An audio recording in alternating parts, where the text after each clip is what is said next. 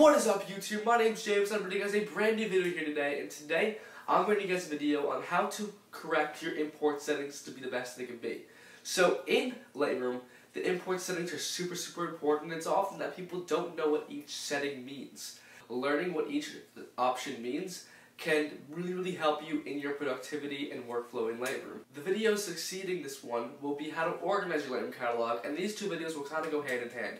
So be sure to look out for that one. Anyway guys, be sure to leave a like, comment, and subscribe. And lastly guys, my name is James. I'll see you guys in the next video. Peace.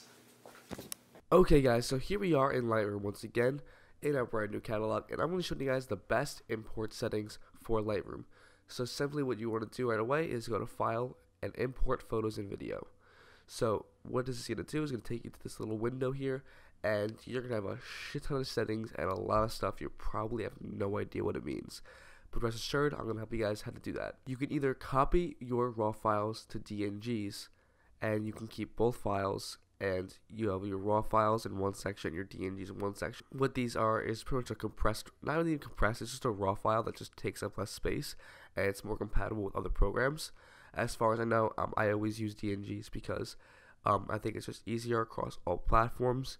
And also, my Sony a7R2 files, so for some reason, don't import to Lightroom, so I have to copy them as DNGs in a separate program first, then import them. So I always actually choose the add button whenever I'm importing.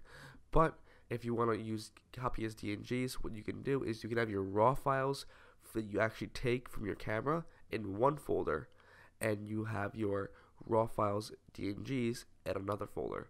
So simply what I would personally do is so let's say let's go to our let's go to our uh, Lightroom folder here. We have Lightroom here. So simply, if we have a folder called um, Photos, then we're gonna click go into here. We're gonna have our shoots and then DNG RAWs. So the two things here. We have our shoots and DNG RAWs. What our shoots mean is we're going to be putting all of our shoots, like the files, the, the folders for our shoots in this folder. So for example, let's say we had a shoot today. It's the 4th of December. So I would name it 12.4.17 um, um, party shoot. I don't know. And then inside this folder, we're going to make a folder called RAWs. And all the RAWs out of our camera are going to go in that folder. Then we have our DNG RAWs, and all of our DNG RAWs are just going to go in this folder flat out. Like, no folders inside. Every single DNG RAW that we have is going to go in this folder. So I'm to show you guys how to do that pretty much. So what we're to do is select a source. All of our RAWs are already going to be inside that folder called um, in our shoots folder. So what we're going to do is we're to go to our photos, our shoots, inside here, into our RAWs, select that. Normally the raw files would be in there, but obviously there's nothing in there right now. Then we're going to go to file handling. File handling is very important. So I'm going to go through every single little like uh, option here, and we're going to go through it. So build preview standard, that's what I usually keep it as. You can change it if you want. I just keep mine as standard. It's nothing important. Um, build smart previews, I don't do that either. Um, imports, don't import suspected duplicates. I keep that checked because I don't want um, duplicate other photos possibly getting in here somehow in case it's a glitch in Lightroom. Um, make a second copy too. I don't do that either. To collection. If you have any collection that you want to add the pictures to, I, you can do that by clicking this and then, or you can even create a collection if you want to. But I don't usually do that. I just do it on my own once I get into Lightroom. Next is file renaming, and yes, you want to rename your files because the raw files that you have in your camera are going to be dirty as hell. Um, it's gonna be some crazy shit, and it's gonna be very unorganized. So, I have a system in which I name my files, and I'll show it to you right now. So you go to edit. You have either two choices, in my opinion. My choice number one, the one that I use personally, is a sequence number. So pretty much what you're gonna do is, uh, I'll backspace this right now, and you're gonna go to number here, and you're gonna hit insert on sequence number, five digits. I keep it five digits in case my picture scope's like 99,000 my catalog, which it will one day. Then I'll have to reset it. Anyway, you hit insert, hit done, and now once you upload your pictures, it's gonna start at one, two, three, four, and every picture will have a number. And that's the way I personally do it because I think keep it's the best, keep it's the most oh wow, I can't speak.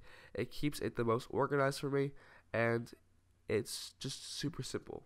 And obviously, if you're start number one here, it's gonna start on one. If you wanted to start at any other number, let's say nine thousand five hundred sixty-four, it will your numbering will start at nine thousand five hundred sixty-four upon import. So I keep mine at one though. And then extensions leave as is. You can actually keep your extension like your uh, DNG uppercase or lowercase, or just leave it. I leave it dot DNG lowercase. I'm not a fan of uppercase letters really. But anyway, your other choice is using much more like complex and more like uh, details in your file naming. So what you can do is actually is we're going to um, edit again, get rid of custom sequence. And so if you want to be more organized and stuff like that, if you like having more than just numbers in your file renaming, what you can do is let's say you want to put your initials. My initials are JG underscore. Then you want to put the date. Let's say you want to put the date in it every single time. So what you're gonna do is you're actually gonna hit uh, custom text here, and then you're gonna put underscore 2017 um, for the year. Then you're gonna put um, you either put the shoot name in another in another custom text, or you, you can do is simply just um, put a sequence number again. So you again your files have uh, names and all that like uh, numbers, and then you hit done, and then in the custom text you just put the date 12.4, and now your um, files will be named JG underscore 12.4 underscore 2017 underscore 00001.dng. But the only downfall with the custom text thing is that every time you import, you have to change the custom text, or it'll end up being JG underscore untitled underscore 2017 underscore 00001.dng, which you don't want, to be honest. It's not recommended that you have that untitled in there because it's like a lot of words, like a lot, a lot of letters, and you just don't want that. Super ugly. Anyway, I, I'm to keep mine though at just the sequence number because that's what I like personally. So that's what we're to do. So insert there, done. Next is apply during import. You can choose develop settings like a preset to apply to all the pictures upon import.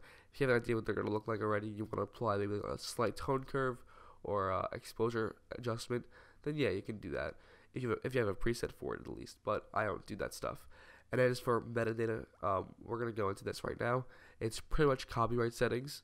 Um, we're gonna go to um, edit presets, and here we have um, my custom one. Uh, so pretty much what you want to do is uh, go down to four tabs. I believe the fourth tab, which is IPTC copyright. Give it a check mark, and under copyright, you're gonna want to put um, C in parentheses, uh, space. Oh, sorry, not space. 2017 space your name. My name is James Giammetta, so I'll put that as my name, and then you're gonna put right here under under uh, copyright status, copyrighted, or public domain. The difference is copyrighted will mean that this photo is copyrighted, no one can use it without your permission, and then public domain is simply anyone can use this at any time for any reason, whether they want to make money off it or not. So I'm gonna keep mine copyrighted just because I don't care. I just don't want, as I want to be have the option to sell my photos if I can. If it's public domain, then really nothing I can do. But, but honestly, this stuff is really just like doesn't matter too much. I just like to have it anyway, just in case, you know. But then you get done, and uh, you can save as a new preset. I'm not gonna do that. Don't save, and uh, we're just go back to my other one, right there. Then you can apply keywords to your uh, photos that you import to all all of them.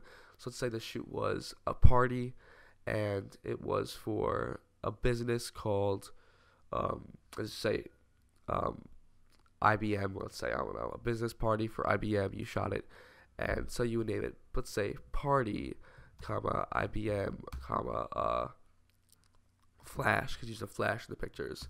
Um, candid because there are probably candid photos in there. Uh, all that stuff like that. That's like that stuff that you can do. You can use a camera that you use. Let's say a Sony A7R, stuff like that. The lens 24 to 70, uh, 2.8. Like that's stuff that you can do to like really like give your photos more organization. Next is the destination of the photos that you want them to have. So for example, is where the DNGs are gonna go. So what you'd want to do is you want to go into one, organize into one folder, not by date or by original folders, into one folder, and now you're going to choose where you want the photos to go. So it's going to be under Photos, DNG RAW. And all your DNG RAWs are always going to go there. You never have to change that that uh, selection. It's always going to go there, but always make sure it's going there whenever you import so you don't fuck it up. And also in the subfolder, not check that. That's only if you're going to use subfolders for your RAWs and you don't want to do that stuff. So, yeah, don't do that. And now, if you're not going to copy as DNG, you're just going to add them as RAW files. It's pretty simple. You just go where you where the RAW files already are. It's the same settings as these, and then you just have your regular metadata applied to your import settings, and you're good to go. Simply. Anyway, guys, that is how you import photos in Lightroom. Hope you guys enjoyed the video. Please be sure to like, comment, and subscribe. This is the second video in my little Lightroom series. Um, the next one's going to be on how to organize your catalogs. And lastly, guys, my name's James. I'll see you guys in the next video. Peace.